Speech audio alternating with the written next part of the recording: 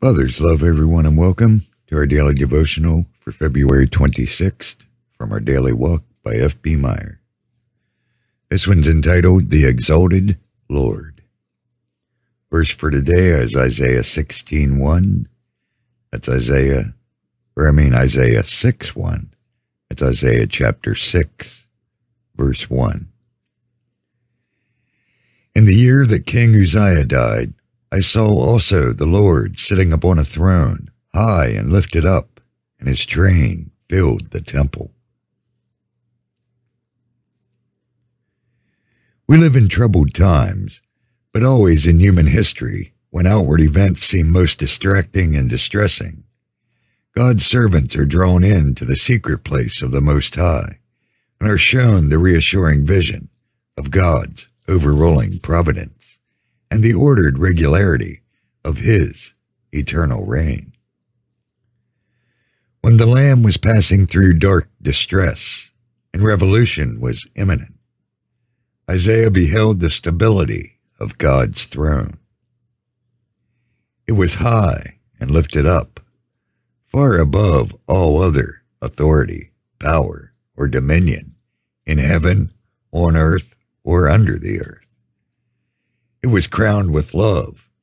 Above it stood the seraphim.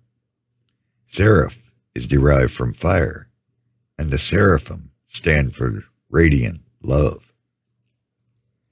If the throne stands for stability, for judgment, and for power, then above all these attributes and overarching him who sits there is love. This is the loftiest conception possible to mortals. Love supreme. The Lamb that was slain is in the midst of the throne. The one who was chosen out of all Israel to see was Isaiah. In all humility, he ascended the temple steps, hustled by the crowds that went there as a mere religious form.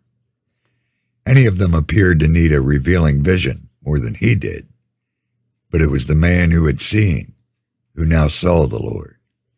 It was the one saint in all Israel who appeared to be most in touch with God who was brought into still closer touch.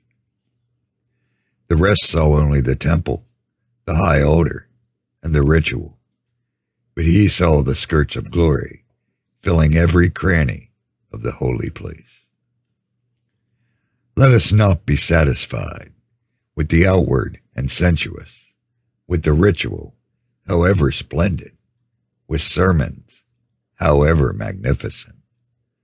Those who are humble and persistent in their quest for God will hear notes which other ears cannot catch, will detect a presence that evades ordinary sight, will enter the realm of the Spirit, which is closed to the outward observer. The world may be full of tumult. The floods have lifted up their voice, but the Lord on high is mighty, and he shall overcome.